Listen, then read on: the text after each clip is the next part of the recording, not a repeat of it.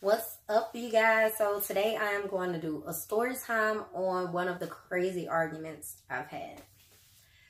So, y'all, around this time, I had to be maybe roughly 21, 22. And um, I stay in Baton Rouge, Louisiana, if y'all don't know. Well, my PNC used to stay in Lafayette. So we, you know, you get tired of the same club scene on a regular basis. So we decided we was going to go to Lafayette this weekend.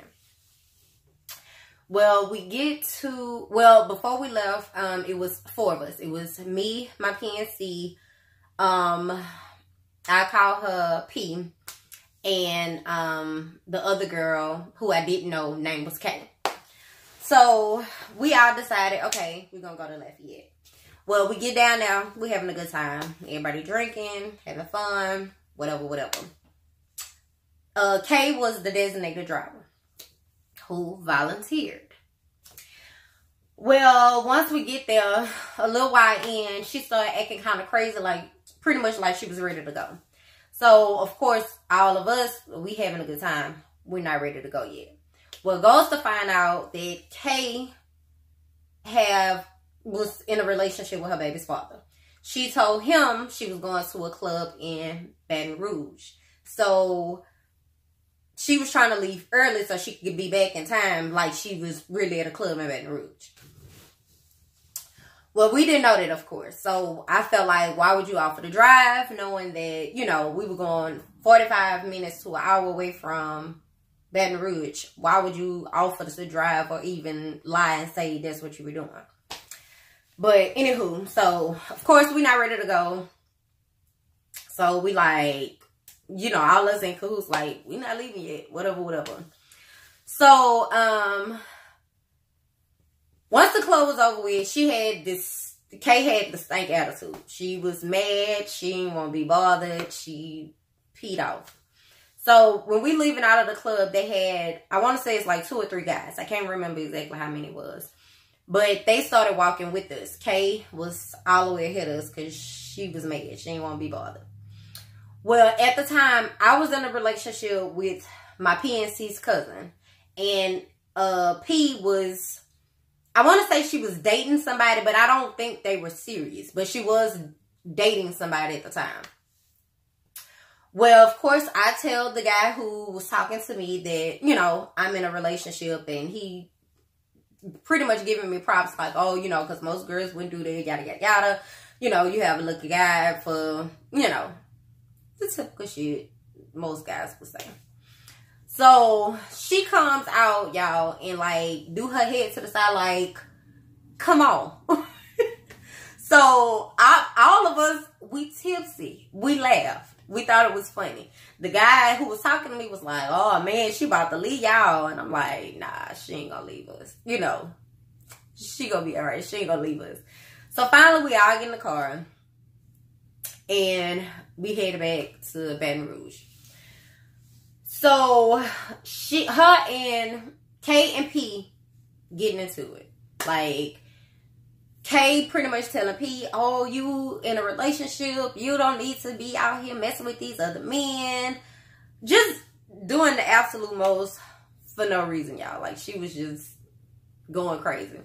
So P like, you know, I can do what I want, whatever, whatever, you know. So she gets aggravated. So she climbs from the front seat of the car into the back. She's sitting in the middle between me and my PNC. So Kay starts to mention my name. Remind y'all, this was the first night me and this girl had ever met each other. Ever. Like, we've never seen each other prior to this, like nothing. Like, she don't know me, I don't know her. So she goes to mention because you're in a relationship and you shouldn't be out here messing with um no other men or whatever, whatever. So I'm like, you don't know me and I don't know you. So just keep my name out of your mouth because we don't know each other like that for you to be addressing me about my relationship or anything. You focus on yours, I'm going to focus on mine. I got this. So she started going on and on. So remind y'all, I had to tell her about four, four times, four or five times to stop mentioning me because we don't know each other. I feel like when you don't know somebody, you don't butt into their situation. You don't know what my situation was with my relationship. So don't butt into it. Like, cause you don't know nothing that's going on. For starters, y'all, I was with my boyfriend's cousin. Why would I be that stupid to be messing with another man and I'm with him? But I'm telling her, mind your business. Cause I got this. I don't need your help to tell me what I need to be doing in my relationship. I should have been telling you what to do with yours. But anywho, so she started going on and on. And y'all, I'm not the one to argue. I don't like to argue. I don't believe in arguing. Like, I'm just not going to do it. So once I get to the point where I just be quiet completely, I'm ready to fight. So she started going on and on. And I'm just standing there looking at her. Now, remind y'all, I'm tipsy. So the slightest thing is like gonna make me click. So I gets quiet and I'm just looking at her. My PNC looked at me and was like, AK, you might want to be quiet because, man, you better be quiet, bro. So y'all, she one of them like ants that just was like, oh, she just wouldn't shut up. Like she was just going on and on. Y'all, before I knew it, I had to I I literally punched a girl in the back of well on side of her head, and she's driving. Y'all, she slammed on brakes so hard. None of us in the back seat have on a seatbelt. We almost flew out of the window, literally. So all of us like, oh my god. So she slammed on brakes and she opened the door. She get out the car. She cause I got a gun. I'm about to kill this bitch and yada, yada, yada. So I'm going back at I'm like, when you shoot me, you better kill me, bitch. Because once I get out the hospital, I'm coming back for you. Crazy, crazy, crazy. But we going there. So my PNC gets mad like, you know, you putting guns in this and it's not even that serious. Like you going, taking this way too far. So the door that I was sitting by, I was on child lock because she has a child. So I'm trying to climb over the seat or get off the passenger side. But remember, my PNC and uh, P is sitting on side of me. So I'm trying to climb out the front. P grabbing me like, no, stop, y'all. Her nails were so long and she broke. She maybe had one or two nails on left. She still to this day say I owe her a full set. I'm sorry, boo.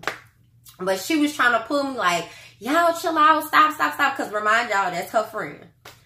So I'm like, if this what you want, I'm about to give you what you want. So I'm trying to get out this car, y'all. I honestly, to this day, do not know how things calm down and chilled out, but she ended up getting back in the car. I called my boyfriend because at this time, like, he was the only one who could kind of calm me down. So I'm like, you need to meet me at the bridge because once I get there, you know, I'm about to beat this bitch up. I had the made up my mind once we got on the bridge, I was gonna be her. That way, you know, he could just pick me up from the bridge and I ain't got to worry about it. Y'all, oh, mind y'all, I made my PNC lose her heels that night. She had just bought the heels too, y'all. She still, I think she made about that still. But it was, it was crazy.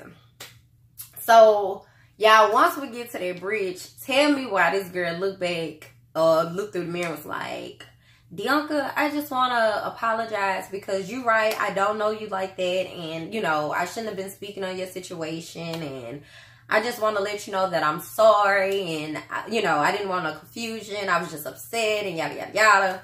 So P and my PNC looking at me like, not this girl to apologize to you. You talking about beating her up. So I kind of felt bad because I'm like, I want, I still wanted to beat her up. Yeah, I was on fire. And I was tipsy. I had alcohol in my system. So I'm on fire. I'm like, mm-hmm, all right. Whatever. It's cool. Like, I ain't tripping. It is what it is. so I'm aggravated because I didn't get to be hugged. And, you know, it, it was it was crazy. Y'all, I used to be like an extreme high head. And it's so crazy because a lot of people who meet me, they cannot believe I had that side of me.